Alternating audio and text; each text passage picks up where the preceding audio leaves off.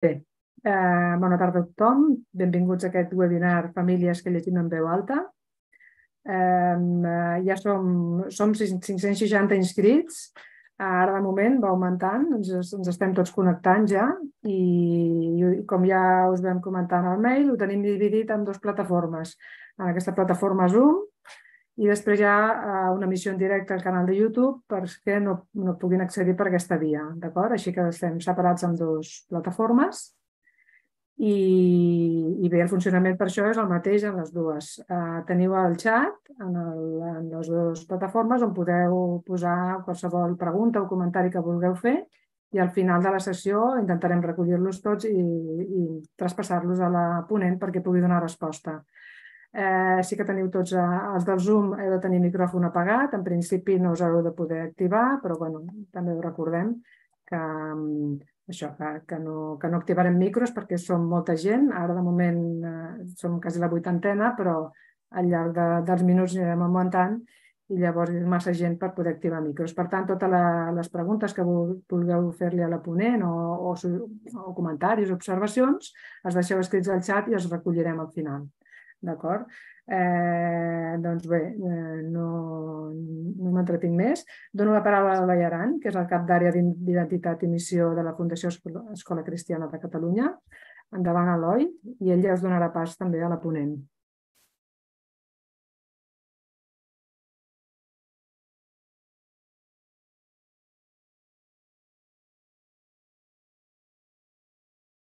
Eloi. Ah, ara sí. Bona tarda a tothom.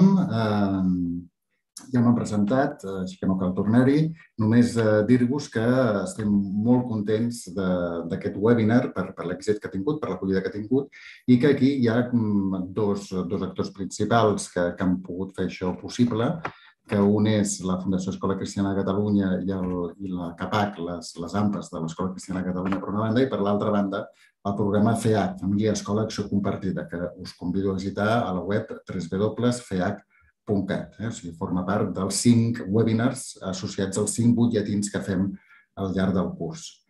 No, no faig més eh, extensiva aquesta presentació i vaig directament a parlar de la, de la Maria Gajas. La Maria Gajas i Roig és llicenciada en Humanitats i professora de Llengua i Literatura Secundària a l'Escola Badruna Àngels des de fa 17 anys. Ha estudiat el màster en Biblioteca Escolar i Promoció de la Lectura i és mediadora de literatura infantil i juvenil, dinamitzant clubs de lectura, fent assessoraments i formacions en el clam de la literatura. I trobareu a l'Instagram arroba a llegir guió baix L-I-J.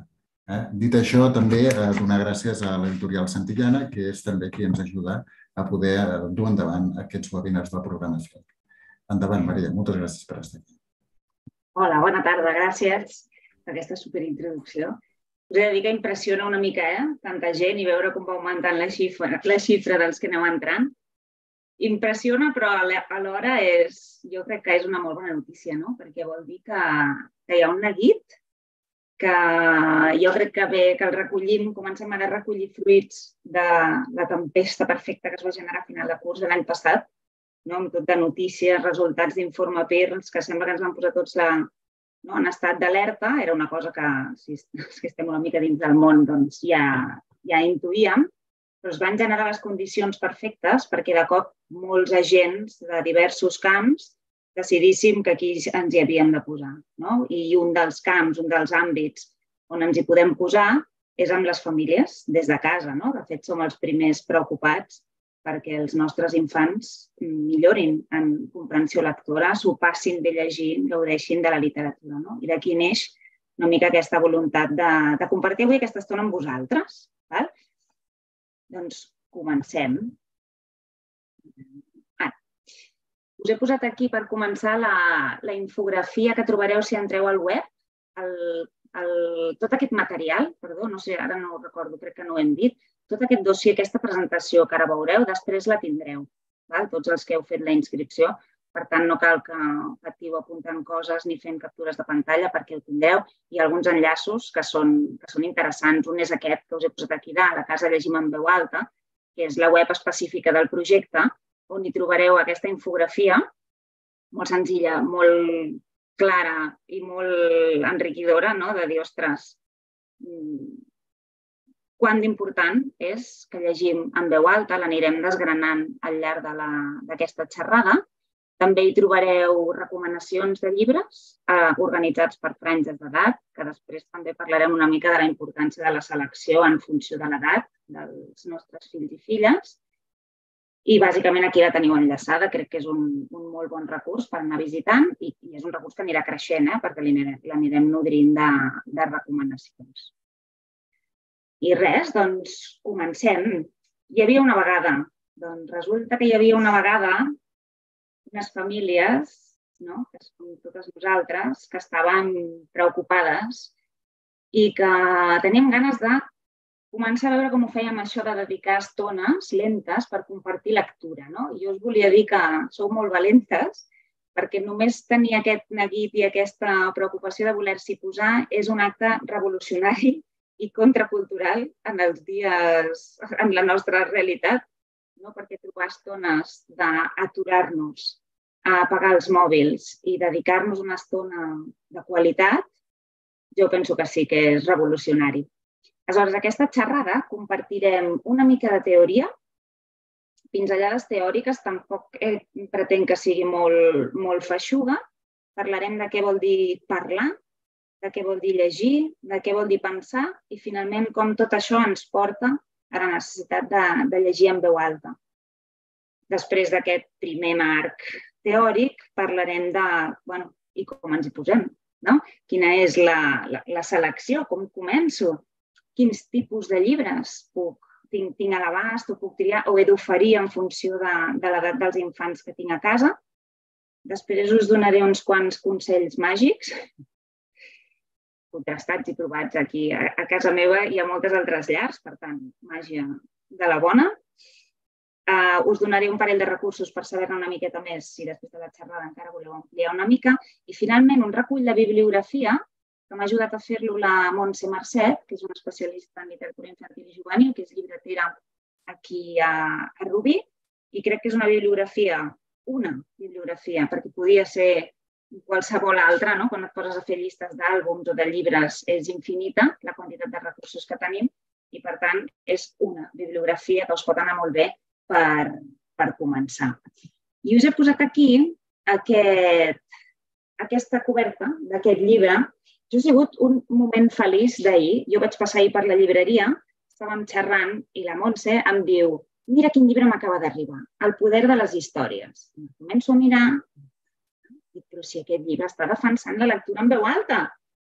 I us en llegiré només al principi. És un llibre que acaba de sortir, eh? és a dir, l'edició és de, de finals de, de setembre. És la història d'en Maurici, que és aquest gat que veieu aquí. Sí? Us llegeixo només la primera pàgina. Després, si tenim temps, potser el podem acabar. Diuen, Maurici va trobar un truc infal·lible per atrapar ratolins. Llegir-los històries. Però no de qualsevol manera, no. Els les llegia amb veu alta i els ratolins sortien de tot arreu per escoltar-les. Veieu? Tots els ratolins com s'acosten en Maurici, perquè en Maurici es llegeix en veu alta. No? Vaig trobar, vaig pensar que era un inici d'àlbum il·lustrat molt adient per la xerrada, per la xerrada d'avui. Vuit motius per llegir en veu alta. Després us explico d'on els, els he tret, un parell de llibres que per mi són de referència. Llegim en veu alta perquè aprenem a llegir millor, perquè creem vincles de confiança entre les persones que estan compartint aquesta estona, perquè aprenem a escoltar, i això és importantíssim, perquè ens dediquem una estona a nosaltres, el que dèiem abans, que us he dit que era revolucionari, perquè ens ajuda a ser més crítics i creatius. Això també ho veurem com, quina és la relació entre la lectura i el pensament crític, que és bastant directa. Com podem aprendre, és a dir, podem aprendre a ser més empàtics, perquè gràcies a unes neurones que tenim, que són les neurones mirall, som capaços d'emmirallar-nos en altres actituds i en situacions que no les hem viscut nosaltres, però que gràcies a l'empatia doncs, ens ajuden a identificar-les. No? També ens facilita parlar de les emocions per aquest mateix motiu. Jo puc no haver viscut una pena extrema, però si el personatge de la història que, que estic llegint l'està vivint, sóc capaç, no, a través de l'empatia, d'experimentar aquesta emoció i, si més no, d'identificar-la. I, finalment, la més bonica, perquè ens permet apassionar-nos i fer apassionar. Val? Llavors, per començar a entrar una mica en matèria, us recomano aquests dos llibres. Són, per mi són el manual de referència. Sí? En primer lloc aquest, La màgia de llegir en veu alta, de la Megan Cox. Gordon ens presenta a través de la seva experiència de mare, que crec que això és molt interessant. Ella és dels Estats Units i, i quan ja és gran reflexiona sobre la seva experiència amb els seus fills, com ella d'una manera, podríem dir, molt intuïtiva, és a dir, ningú li va dir que ho havia de fer, ella era molt lectora, gaudia llegint i, per tant, li agradava compartir aquestes estones, aquestes estones amb els seus fills i, ens, i a partir d'aquest fet ens va explicant el seu recorregut vital amb aquesta experiència, però no només això, sinó, com veieu, és un llibre una mica gruixut, està farcit de referències científiques i de molts recursos que trobo que són molt valuosos. Si bé és cert que en algun moment a mi se'm va fer una mica feixuga la lectura, tampoc no cal fer-ne una lectura lineal, però és un llibre de referència amb, el tema que avui ens ocupa. I als Estats Units fa molt de temps que tenen recerca feta en aquest camp i que ens porten molts anys d'avantatge, però nosaltres aquí a casa ens hem posat les piles. I quan dic nosaltres parlo del David Bueno, l'Anna Forés, que l'any passat van editar aquest llibre, Els beneficis de la lectura en veu alta, és el primer estudi fet a Catalunya sobre els efectes neurològics de la lectura en veu alta. Què li passa al nostre cervell quan ens estan llegint en veu alta? No? Interessantíssim. Aquest estudi neix, és un encàrrec que li fan des del grup Enciclopèdia Catalana, que són els que tenen, els que organitzen cada any el certamen de lectura en veu alta, és a dir, que ja hi havia una trajectòria no? de la institució en aquest camp, li van encomanar què li semblaria fer aquest estudi i ell, doncs, de seguida s'hi va engrescar i és molt, molt, molt, molt interessant. De fet, tota la xarra de tota la teoria que veureu que aquí jo us aniré desgranant amb pinzellades molt, molt senzilles, està extret d'aquí. Aquí és un llibre que jo tinc molt marcat i super subratllat. Si veieu, m'agradaria ensenyar-vos el per dins perquè combina dues tintes, que això fa que la lectura sigui prou atractiva, i combina el que és teoria, en tinta negra, amb caixetes amb propostes d'activitats per fer tu a casa. Sí? De dir, molt bé, tot això que jo t'he explicat, goita, tu amb els teus fills a casa pots fer-ho d'aquesta manera. Penso que, que és un llibre imprescindible. Si a tots els que ens preocupa aquest tema, mestres, famílies, molt fàcil de llegir. Sí que a vegades ens fa una mica de por acostar-nos, no? entrar en, en algun assaig perquè pensem que serà molt teòric. En aquest cas, cas penso que el, el to és, és encertadíssim. I comencem, comencem perquè si no no tindrem temps que us ensenyi llibres i us vull ensenyar molts llibres. El, el primer punt de la teoria, que ja us he dit, hem de, hem de, hem de, hem de parlar de què és parlar. Sí? Parlar és un acte instintiu, és a dir, no, no, no som conscients que n'estem aprenent. N'aprenem perquè l'entorn, la nostra gent del voltant parla i, per tant, podríem dir que per contacte n'aprenem. La lectura enriqueix i potencia tots els, els processos de, de pensament. I hi ha una relació directa entre la capacitat de pensament creatiu i la comprensió lectora. Sí? Relacionat amb això de la parla, us vull destacar una dada que a mi em va, em va frapar quan la vaig llegir. No? La primera és parell de coses que a mi em van sobtar molt en, en, en relació a això de la parla. I és que és molt important, i això hi ha vegades que t'ho pregunten, no? Ja, i quan començo? Doncs mireu, és, és increïble, mm, però es pot començar i s'ha de començar des del període de gestació. Vaig al·lucinar eh, quan vaig llegir això, perquè s'ha comprovat que a partir de la setmana 36 de gestació, quan la mare llegeix en veu alta, hi ha resposta neurològica del, de l'infant. I és una resposta diferent que la, quan la mare parla sense no, la prosòdia, les entonacions, les pauses de quan està llegint. Sí? Per tant, quan hem de començar a llegir en veu alta? Abans que neixi la criatura, si podem. I l'altra dada que us deia, que a mi em va, no sé, és una dada que, que m'ha quedat gravada i que la dic sempre, és que cap als 3 o 4 anys el vocabulari d'un infant augmenta unes 10 o 12 paraules cada dia. Cada dia, 10 o 12 paraules són moltes paraules. Però clar, immediatament penses, per aprendre aquestes paraules, l'infant i ha d'estar exposat, perquè si no, no, no, la sap llegir. Estem en un moment en què l'infant només parla o ni això, només és capaç d'absorbir missatges que li venen per la comunicació oral. No? Per tant, un motiu més per, per llegir en veu alta en aquestes etapes tan, tan primerenques. No? Estem en el moment, i això ho treballem molt a infantil i a l'escola Bressol, de la sensibilització fonològica, no? la consciència fonològica. És una etapa en què tenir models de llenguatge és essencial pel desenvolupament del llenguatge. Si a un infant no li parlem i el tenim tot el dia davant d'una pantalla, ja sabem què passa. No? Perquè, a més a més, sí que és cert que davant d'una pantalla està rebent llenguatge, si la persona o els dibuixos o el que sigui li parlen, però amb allò que està veient no hi ha vincle emocional. I això també és molt important perquè hi hagi aprenentatge hi ha d'haver vincle emocional. I el vincle emocional el tenen amb nosaltres. Som les persones cuidadores, eh? pares, mares, les persones que estiguin al càrrec dels infants. Per tant, malgrat que estiguin en contacte amb llenguatge davant d'una pantalla, no estan passant els processos neuronals que passen quan hi ha un vincle emocional amb la persona amb qui estàs compartint aquella lectura. Val? No, ja veieu que no us ho llegeixo tot, eh, perquè corto que després vosaltres ja tindreu aquest, aquest dossier, ja us el fareu vostre i tampoc es tracta que ara llegeixi, llegeixi tot això. Molt bé, un cop hem parlat de la importància de parlar i d'aquesta de lo essencial que és estar en contacte amb el llenguatge oral, arribem al moment en què podem plantejar-nos llegir. I llegir és un acte eh, que l'hem d'aprendre i ens n'han d'ensenyar. Sí?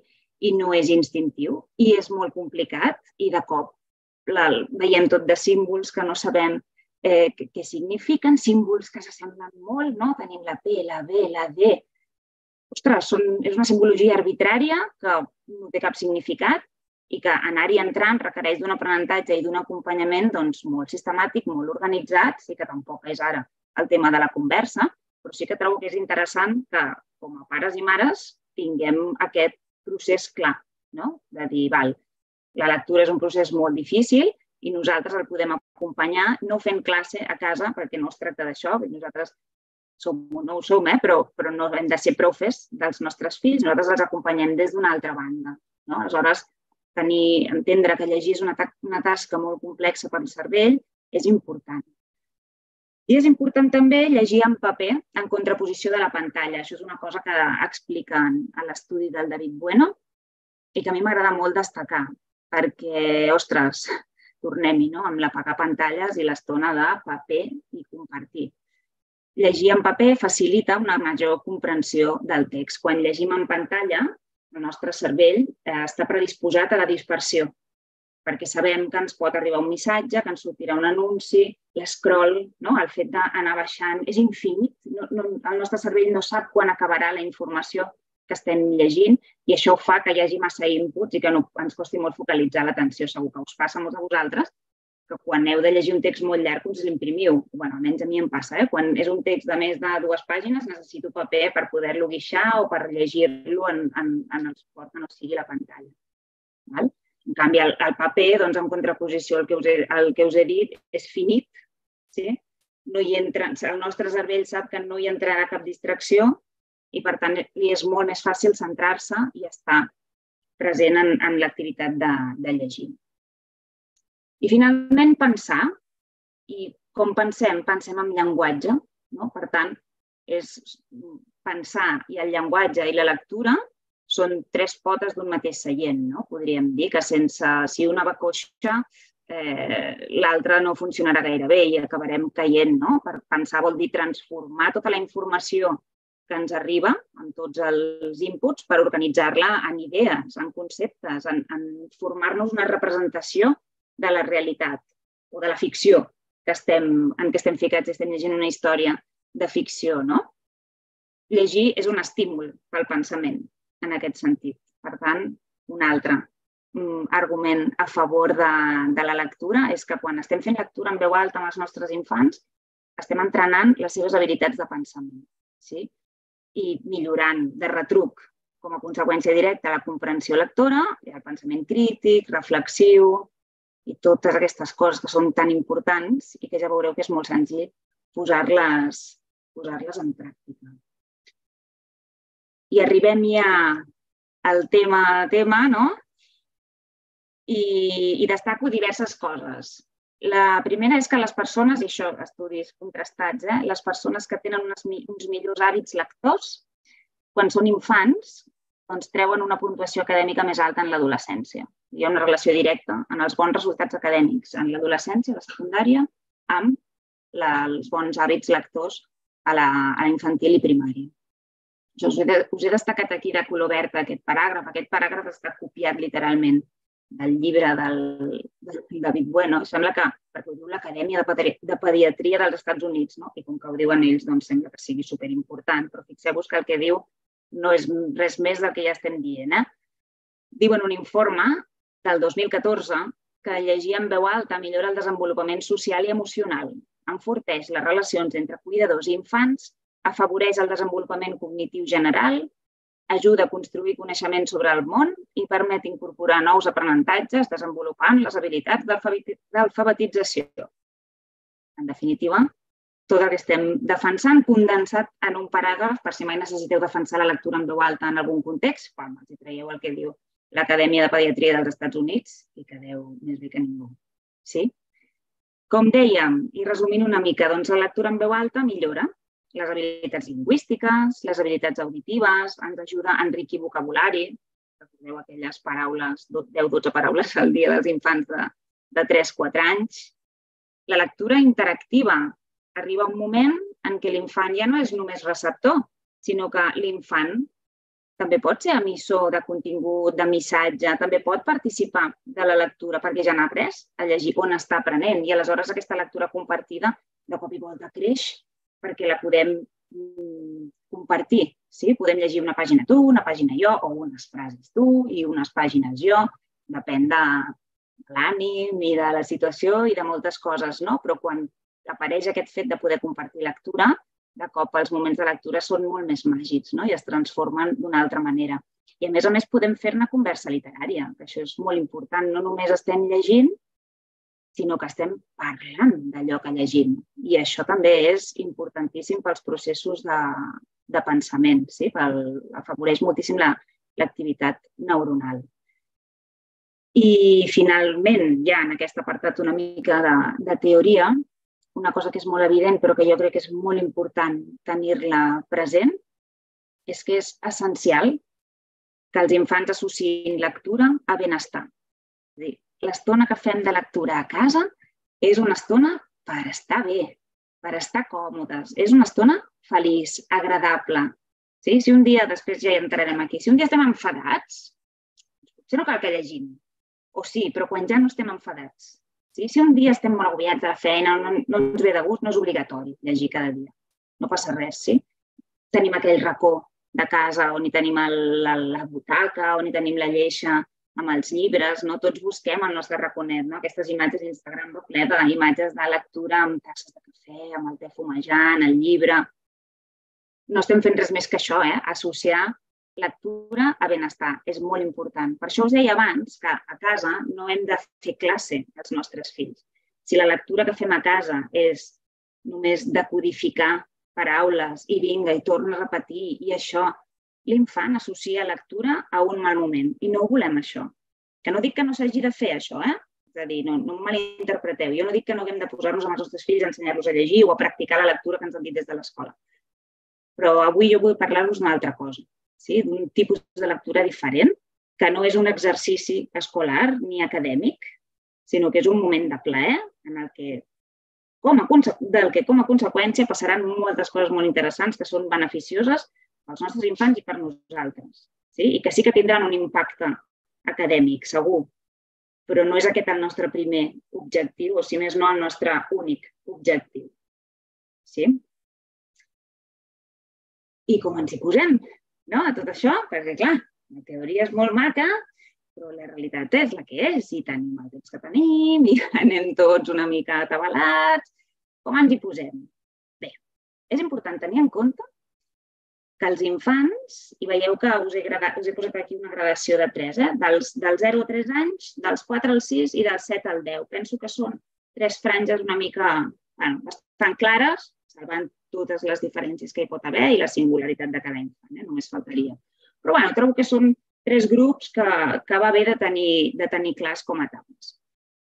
Us deia que és important tenir en compte que llegim amb tots els sentits. Ara veureu per què això és important. I sobretot aquí estem parlant d'infants amb edats molt, molt primerenques. Ara, el cervell dels infants processa tota la informació que li arriba de tots els estímuls, de, la, de, de tots els sentits, sí? no només de la vista i del, de l'oïda, sinó també del tacte, de, de les olors, val? i això serà molt important també quan, quan plantegem lectures.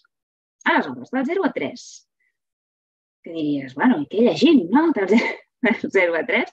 Al 0 a 3 són molt importants les cançons de falda, les rimes, els, la narració oral. De vegades no cal ni que tinguem un suport, un infant de, de un nadó que encara no té un any, no, no pot, amb el suport del llibre, però nosaltres podem explicar-li narracions orals. No? Ens costa de vegades pensar en, en la literatura sense el suport del llibre, però és que la literatura oral és molt potent i el 03 és el moment, el 4-6 també, eh? però el 03 és el moment en què això és, hauria de ser sagrat, no? és a dir, ens hi hauríem de dedicar moltíssim. Aleshores, llibres que integrin els diferents sentits. Mireu, us ensenyo diverses coses que he pogut anar agafant jo així per casa. Llibres tubets, veieu? de plàstic, els típics llibres que podem emportar-nos a la banyera.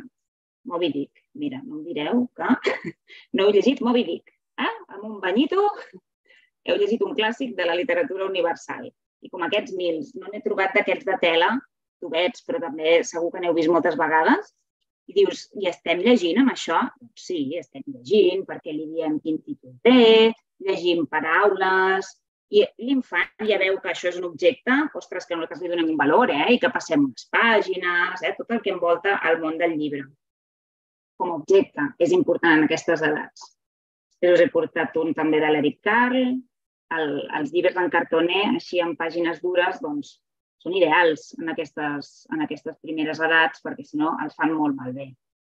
Llibres que, per exemple, tinguin un grau d'interactivitat, no? Uau, i ho obrim i de cop un llibre, el llibre ha crescut i és el doble de gran.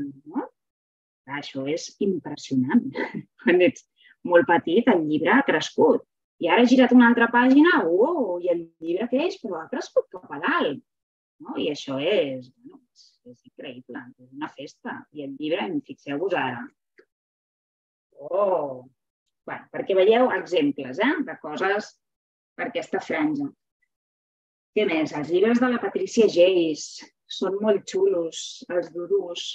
Són llibres amb històries molt senzilles que treballen, per exemple, aquest treball dels hàbits, no? d'anar-se'n a dormir. I són tot d'animalets que se'n van a dormir. Però que els animalets els podem tocar, podem jugar-hi, els podem treure del llibre, els posem al llit, aquí tenim una pinta i el podem pentinar, li donem un got d'aigua... Són llibres joc, sí? El porquet doncs, té el conte dels tres porquets aquí a la tauleta de nit. Veieu, si expliquem el conte. Segurament els infants petits, més, més menudets, no aguanten que passem totes les pàgines perquè ja s'han distret, se'n van a una altra cosa, l'han estripat, han agafat... No res. En aquestes edats, depèn de quins llibres els ensenyem, hem d'estar disposats a que pateixin algun accident. Llibres amb titelles incorporats com aquest. Endevina quantes tinc? Soc aquí, un llibre amb titella. No? I aleshores posem el dit per aquí, i tenim el conillet, que ens pot fer pessigolles, que ens explica la història. I ja veieu que de formats n'hi ha de, de moltíssims tipus. Clàssics, sí? La caputxeta vermella amb un 03? Bueno, no ho sé. Si com a història jo la introduiria en un 03 per la història en si, no? És un moment en què a mi m'agrada molt, per exemple, el patufet perquè no sé si heu pensat mai, però el Patufet és un conte on no hi ha la figura del dolent. No hi ha cap malvat en el conte del Patufet. Per tant, és un conte que funciona molt bé amb els més, més petits. A més a més, té la cantarella del patim, patam, patum. És important, les repeticions, les rimes, tot això en aquesta edat és molt és bàsic. Que no dic que no us pugui explicar una caputxeta, eh? perquè tampoc no entendran al final. Però, bueno, I aquest us m'ha agradat, agradat portar-lo avui a la selecció perquè no sé si es veu molt, però hi ha relleu, no? perquè també juguem molt amb el tacte en aquestes primeres edats. La caputxeta té relleu i aquí hi ha un forat. Sí? He fet aquesta selecció com, com n'hagués pogut fer una altra. I després llibres no tant perquè manipulin ells, sinó perquè els expliquem nosaltres, com aquest superclàssic que si no coneixeu us el recomano moltíssim de la Margaret Wise Brown. És un conte eh, nord-americà, un clàssic. Generacions de... Jo de tinc una companya de feina, la Núria, que un dia va veure que jo havia penjat aquest compte a Instagram i va dir, pues si me'l sé de memòria en anglès, perquè la seva mare és americana, i va tenir com un moment de, ostres, si és el clàssic de quan jo era petita, me'l sabia de memòria i em van a dir totes les cantarelles en anglès. Va ser un moment molt xulo. És un llibre molt senzill d'enumeració i de rimes de coses que hi ha a l'habitació mentre el conillet se'n va dormir. Val? Com I saltem al 4-6. El 4-6 Aquí ja estan avasats a que els expliquem històries, ja són uns cracs de, de l'oralitat i aquí jugarem, podem jugar, una de les, de les coses maques d'aquesta etapa és l'anticipació, que és, per exemple, uh, us he portat aquest, aquest a mi m'agrada molt, és un llibre que va sortir l'any passat, que es diu Més enllà del bosc. No és un llibre perquè manipulin ells, jo crec, però bueno, les manetes de 4 o 6 anys si a casa hi ha llibres i estan acostumats a treballar amb llibres. És la història... Bueno, són dos conills, un pare i un fill. Ja? Aquest pare i aquest fill que viuen en una mena de plana i volen saber què hi ha més enllà del bosc. Tota la història, ara no us l'explico, no tenim temps, tot el que fan, les peripècies que els hi passen, no sé què, i al final no? Han construït un mur, arriben, pugen i ja veuen què hi ha més enllà del bosc, però el lector no ho sap i aquí podem jugar l'anticipació. I què hi haurà a l'altra banda del bosc? Tu ja ho saps perquè l'has llegit prèviament. Fem hipòtesis, fem un dibuix fins i tot, ens ho podem imaginar, podem dir coses que facin gràcia, coses, no sé, aquí hi ha imaginació al poder. I no us ho ensenyo que hi ha més enllà perquè ho teniu vosaltres. Us deixo amb la incògnita. Si tenim temps, potser després us ho ensenyo. Què més? Llibres amb, amb solapes, també. Sí, llibres amb pestanyes també ens ajuden molt a l'anticipació. Un clàssic que Baobab, sí, per recuperar, estava catalogat i per podem tornar a tenir, és el carter Juliu. No només hi ha solapes en aquest llibre, la història és molt senzilla, és un carter que va repartint cartes pels seus amics i reparteix una carta als tres ossos. Però és que la carta hi és, i aleshores en aquesta part del llibre tenim un sobre i a dins hi ha la carta. Llavors, i passem la pàgina i aleshores anem a visitar la bruixa i obrim què rep la bruixa. Aquest és fantàstic. Ja veieu que la interactivitat és molt elevada i això, bueno, és una passada. Tenim un catàleg que li ha arribat del magatzem dels fullets amb tot de coses doncs, superinteressants que la bruixa segur que es voldrà comprar un exemple més, aquest per mi és, és excel·lent, és, és un hit, aquest llibre. Què més? La casa de la May també és un llibre que a mi m'agrada molt per dos motius. Primer perquè té solapes molt xules, moltíssimes solapes. Sota les solapes hi passen coses, mireu, té moltíssimes, no sé si es veu bé, sí, té moltíssimes solapes grans, petites, i els personatges que surten a dins, a la següent pàgina, ja no hi són en el mateix lloc, i estan en una altra banda fent una altra cosa i per tant ens dona molt de joc de dir ui, i on és aquest? I on era abans? I ara què està fent? I l'altre, que s'ha amagat, on el trobem? És un, és un, llibre, és un llibre molt, molt, molt, molt xulo i us deia que m'agrada molt per diversos motius i un dels motius és que és una nena, que és la May, i la May és arquitecta. I aleshores trobar referents de la literatura infantil on hi hagi una nena que és arquitecta, doncs què voleu que sigui? No, la, la història és senzilla, eh? Ella es fa una casa i aleshores tots els seus amics i coneguts s'hi acosten per dir que ells també volen una casa. I aleshores ella va construint cases i cada cop la casa és més gran i és tan gran, veieu, el llibre s'obre i creix d'una manera espectacular i ella està tan cansada que diu, mira, saps què? Que me'n vaig. I acaba el llibre. La història que ella es construeix de nou una casa per ella sola, allunyada de tot el xivarri. Aquí també podríem jugar amb tot el que són els pop-ups, com aquests, sí? els llibres que, que tenen volum, o la meravellosa i horripilant Casa de la iaia, de la Meritxell Martí i el Xavier Salomó. Són un dels tàndems artístics més prolífics i famosos que tenim avui en dia a la Lix catalana. I també doncs, la història i tot de... Una història que us recomano però moltíssim. I tot de pestanyetes que es van obrint al llarg de, de tot el llibre. I les pestanyes aquí tenen un valor narratiu, és a dir, necessites obrir-les per anar construint la història. No és tant un joc, sinó que necessites saber què hi ha, què hi ha darrere. Doncs fotem mitja. Va.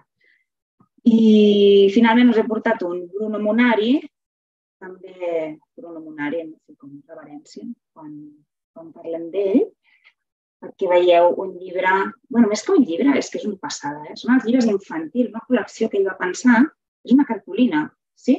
I hi ha una girafa que es troba una caixa, i què hi ha dins la caixa? Obrim la caixa, oh, una zebra, una zebra, tot el text és una delícia també, ara no us el llegeixo amb unes rimes i està super ben pensat. Una zebra que té una maleta, què hi ha dins la maleta? I anem obrint, no? I podem, podem estar molta estona fent hipòtesi, mm, treballant llenguatge, una passada. I ens n'anem finalment a la lectura de 7 a 10 anys. Finalment, per aquesta classificació que he fet, no vull dir que a partir dels 10 anys ja no haguem de llegir en veu alta, al contrari, eh? jo defenso que la lectura en veu alta no té edat i que també després us recomanaré que llegiu entre els adults de casa. Aquí al 7-10 ja és una lectura molt xula, perquè podem oferir una lectura compartida. Sí? A més, està demostrat que, òbviament, s'activen moltes més zones del cervell que no passi, només som receptors de la història. Aleshores, aquí jo trobo que és interessant trobar, seleccionar llibres que estiguin una mica per sobre de la competència lectora dels nostres fills i filles. Perquè per això hi som nosaltres. És dir, llibres que ells sols no s'hi podrien afrontar gràcies a la nostra mediació, a que som allà amb ells, no? entre el llibre, nosaltres ens col·loquem entre el text i l'infant, gràcies a nosaltres hi poden accedir. Aleshores podem estar parlant ja de les primeres novel·les. És que, clar, és molt xulo. Fins ara només hem tocat alguns il·lustrats, històries curtetes, però de cop i volta podem agafar una Dagfrid, que és una meravella de novel·la curteta, que és la història d'una vikinga.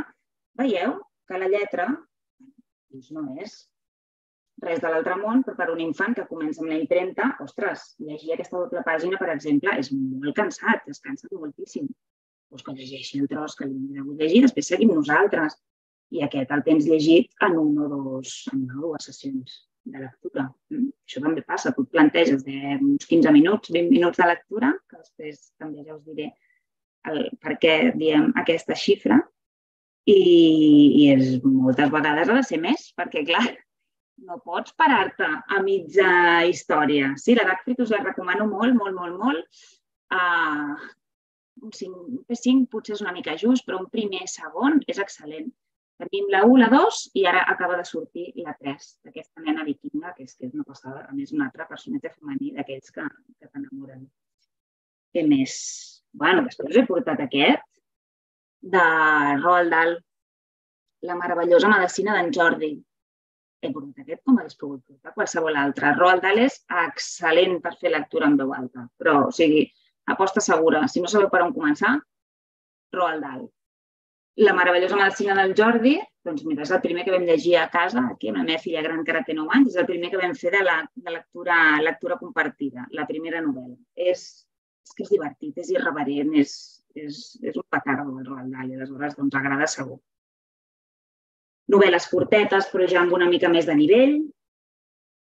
Aquest doncs no ho sé, jo el posaria un tercer, un quart de primària. Clar, què ens passa? Que tenim fills de diferents edats, no? Per qui triem la lectura? Bueno, us diria que és igual, perquè si una cosa té la lectura en veu alta, comprovat és que la lectura en veu alta aplega la gent, convoca. Quan estàs llegint en veu alta i tu has triat avui una lectura, doncs pel petit que té 4 anys i en tens un de més gran, el més gran acabarà al teu costat escoltant, també, encara que tu no havies pensat que avui la lectura era per ell. O al revés, l'has triat pel, pel més gran i el més petit també s'acosta. No ho entén, és igual, però és aquí el valor de la lectura en veu alta. Estem compartint alguna cosa més que no només el llibre i el text. Estan passant coses que és el que en el fons ens convoca i ens fa que ens posem al sofà o que seguim a terra al costat del pare o la mare o el germà gran, no? quan ja són lectors autònoms, que són els que estan portant la lectura. La meravellosa granja del senyor McBroom. Divertidíssima, molt, molt, molt recomanable.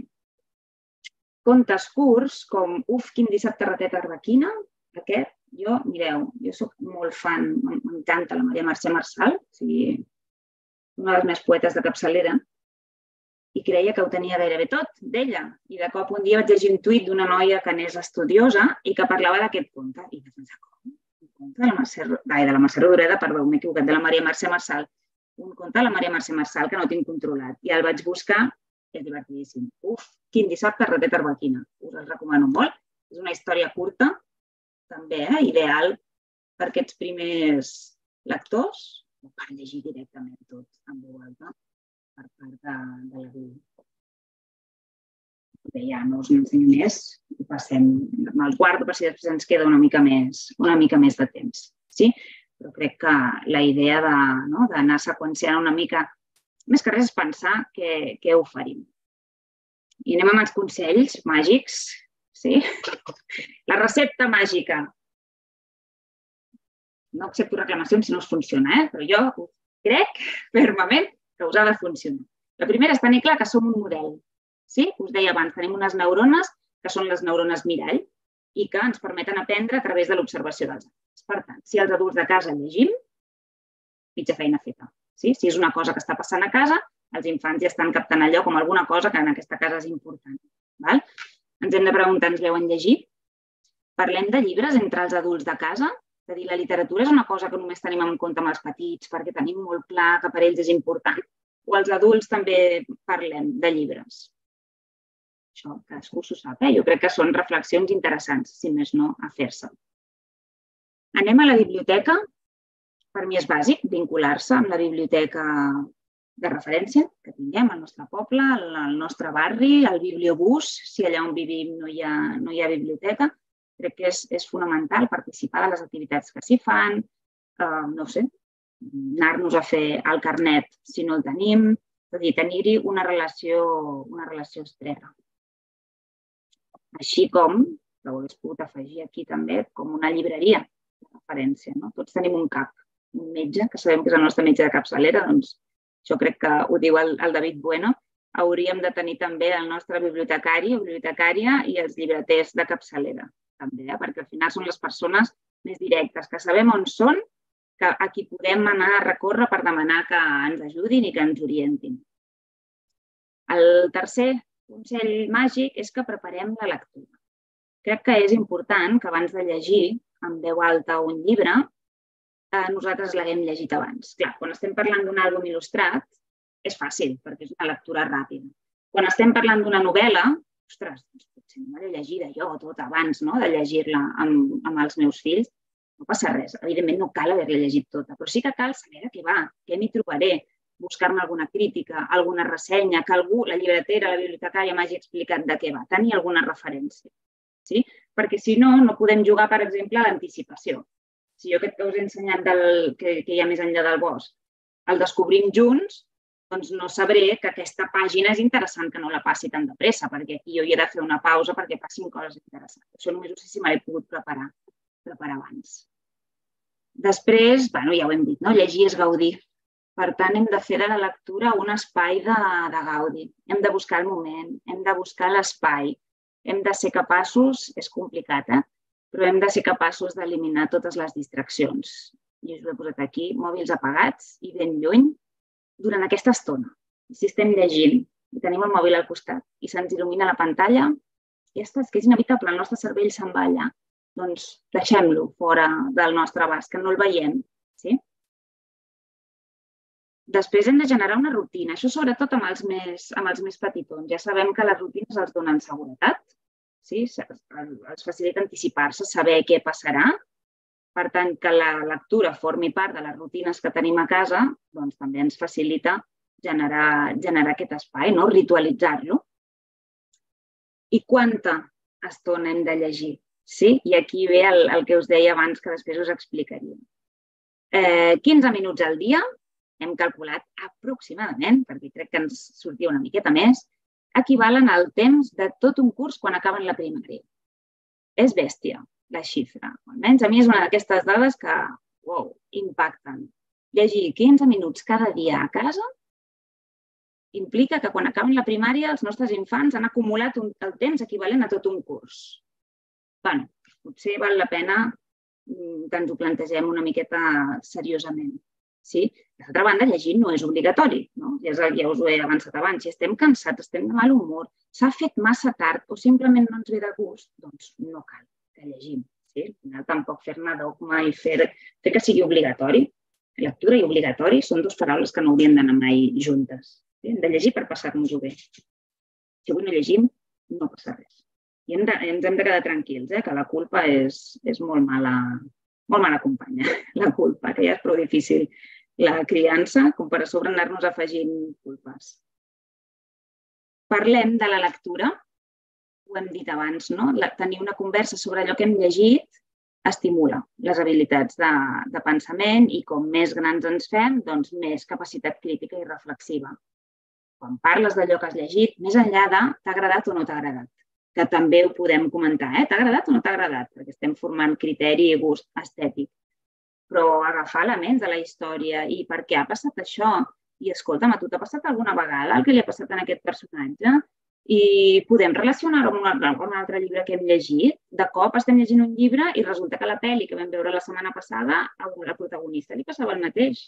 Clar, no ho sé, totes aquestes connexions que puguem anar fent, temes, fils que puguem anar estirant, són importantíssims. No? Van fent com una constel·lació cultural de l'infant, que, és, que és molt important. Fer que els infants participin, doncs ja ho hem anat dient, no? Convidem-los a que passin les pàgines, a que aguantin el llibre, a que llegeixin fragments quan ja en saben, sí? que siguin, de cop podem, això també és una cosa que fan molt els nens i nenes, segur que us heu trobat, sempre volen el mateix llibre. Quin conte llegirem avui? jo què sé, bona nit lluna. I tu penses, bona nit lluna. Si llegim cada nit, Mercè, la memòria és un pal.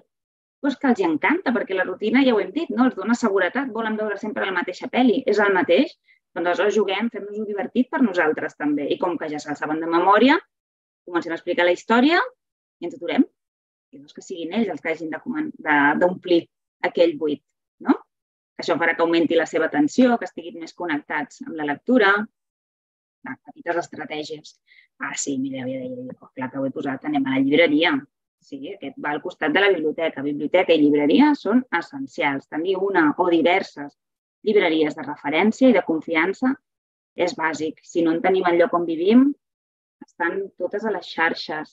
Eh, són una font d'informació molt, molt, molt, molt, molt valuosa. Penseu que són experts i expertes en literatura infantil i juvenil i que tenen un fons en aquestes llibreries especialitzades molt cribat, no hi tenen qualsevol cosa. Sí? Per tant, entrar en aquestes llibreries ja és garantia de que allò que ens emportarem és de, és de qualitat.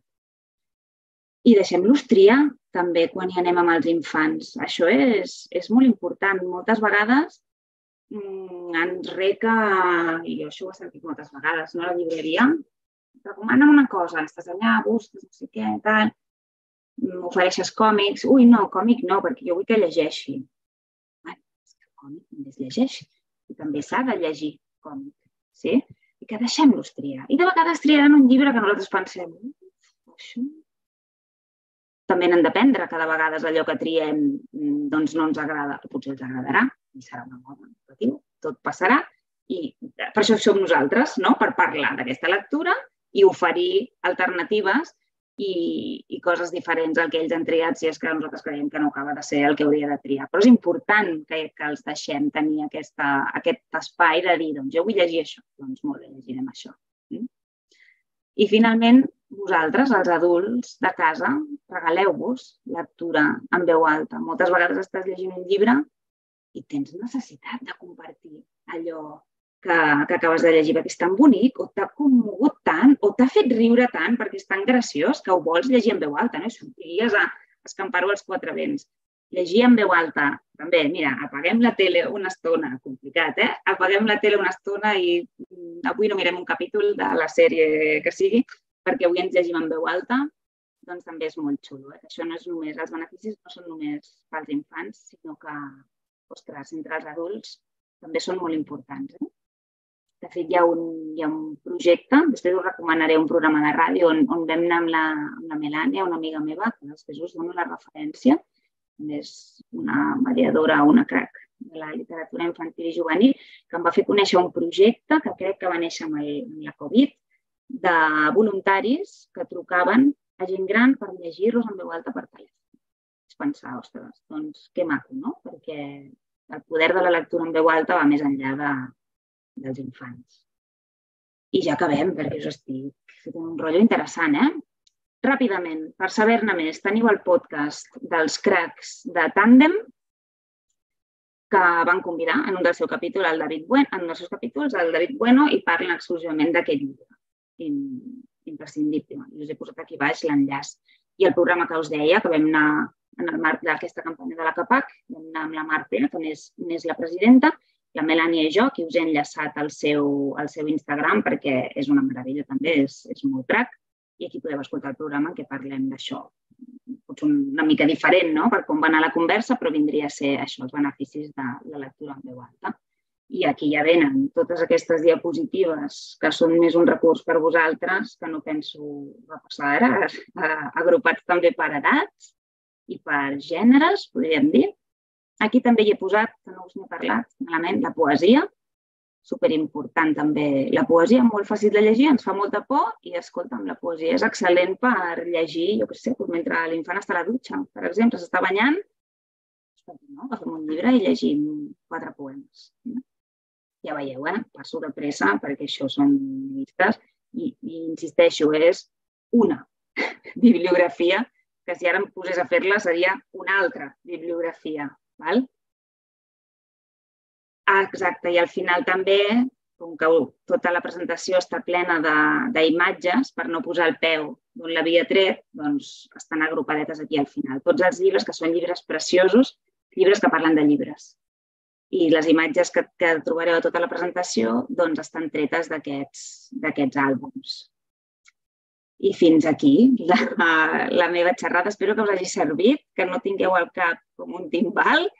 Em podeu trobar, com ja, ja ha dit l'Eloi, a aquest perfil d'Instagram o en aquest blog. I no sé si teniu alguna pregunta o esteu tots ja atordits a aquestes hores del, del vespre. Molt bé, gràcies Maria. Molt interessant tot això. Sí que hi ha algun comentari que ara llegirem. Si algú més vol animar-se a escriure alguna cosa al xat, també ara ho recollirem. I mentre escriviu, doncs, bueno, jo, jo et comparteixo que amb, amb el que m'he quedat, no? que és aquestes estonetes d'associar la lectura amb el plaer, amb el confort, amb, amb la relació, no? I, i, i simplement això, no? No busquem què, què llegir o o, o, que sí que no, sinó buscar aquest plaer, aquest gaudi personal no? de cada membre de la família i, i compartir diferents, mm. diferents estils, però tots, tots fent el mateix. No? M'ha agradat aquesta idea. Clar, exacte, i associar lectura a plaer és molt important perquè ja et predisposa a la lectura d'una manera que després a l'escola també és molt important. No? Si a mm. casa podem fer aquest treball previ, doncs... Exacte. A més que si a nosaltres ens agrada llegir, que aquí em parlen només de llegir. Sembla que no, no passa res si no ens agrada llegir, tampoc, eh? Però bueno, no, no ens fa ser millors ni pitjors persones, però al final és una cosa que no ens apassiona i que ens agrada i que tenim una mica d'eines i d'idea teòrica de què està passant amb els nostres infants quan estem fent això, doncs trobo que, que li dono molt més valor. No? Exacte. I, per exemple, en Xavier Vinyals ens comparteix, diu, espai de lectura en zona còmoda, a mi m'agrada sentat a terra i coixir a l'esquena, el contacte amb el terra em connecta. Diu, recomano que ho proveu, és un bé per l'esquena i les cames. Eh? Doncs gràcies per, la, per compartir-ho. Pues moltes gràcies a cadascú. Sí. Fet ara ha sortit un llibre que diu 101 maneres de llegir, que està escrit pel Timoté de Fontbel, il·lustrat pel Benjamin Schott, divertidíssim, per lletra ferits, ideal, que són això, diferents escenes de gent amb posicions estranyes i estrambòtiques, no? de 101 maneres de llegir. Diuen que no existeix la manera més... no hi ha manera còmoda de llegir. Mm -hmm. I la Mònica ens comparteix que la lectura per ella és un espai d'amor amb el seu fill, un espai de vincle i confiança abans d'anar a dormir. L'Elisabet eh, parla dels lectors al tren, eh, de Rubí, eh, és una llibreria meravellosa. Una llibreria que es diu Lectors al tren. Va. Sí, és, és la llibreria on, on hi ha la, la Montse, que és, és, és una crac també, i és que bueno, hem fet la, aquesta bibliografia l'hem fet juntes, perquè ja té uns coneixements que, que jo no tinc. La Montse comenta el tema de les distraccions. La meva filla es distreu molt amb els dibuixos del llibre que llegim. Bueno. Però bueno, fins a quin punt seria distracció, no? O entrar Clar, depèn de l'edat, depèn del llibre. Pots integrar aquestes distraccions i parlar-ne, no? Per què s'està distraient? Potser és que, que no sé quina té la criatura, potser és que li està cridant l'atenció potser és que li agraden molt aquest tipus d'il·lustracions, no? Què està passant amb aquestes il·lustracions que la distreuen? Per aquí t'agraeixen la xerrada, que la compartiran. Bueno, sapigueu que, que estarà penjat a la, al canal de YouTube de la Fundació Escola Cristiana, així que si us ha semblat interessant i creieu que una altra persona en pot gaudir, doncs el podreu, podreu trobar aquest webinar allà penjat i podem compartir-ho amb, amb la resta. També en Jordi ens diu que és mestre Tortosa fa anys i que porta els seus alumnes al certamen de lectura en veu alta que organitza el Departament i Enciclopèdia Catalana i és una meravella i una motivació i tot el que s'aprèn a través de, de mm. compartir que ja, aquesta màgia ens ho comparteix a nosaltres, per si ens hi volem apuntar. I bueno, ara es van animant els comentaris. Eh? Bueno, encara queden uns minutets, us els vaig traspassant. Eh, comenten en Xavier, haig de portar la petita al conjunt musical, gràcies, crac. Mm, això, t'agraeix la, la xerrada. Encara està entre gent, però bueno, ja acabem. Uh, T'agraeixen això, la, la xerrada i comenten doncs, això que la lectura és important, és molt enriquidora, uh, ens comenten llibreria llavors de Collblanc, ens, ens la recomanen i bueno, t'agraeixen que treballar a l'escola, la lectura a l'escola és apassionant i bueno, molts agraïments, és a dir, que ha agradat molt. Que bé, m'alegro molt. Només que alguna idea us hagi servit i la pugueu posar en pràctica. Bé, després que teniu, tindreu el dossier i sempre hi podreu tornar Sí, els dossiers enviarem a tothom que estava inscrit, us enviarem per mail el, aquesta presentació perquè la pugueu tenir i, i refrescar-la. Eloi, si vols comentar alguna cosa per acabar.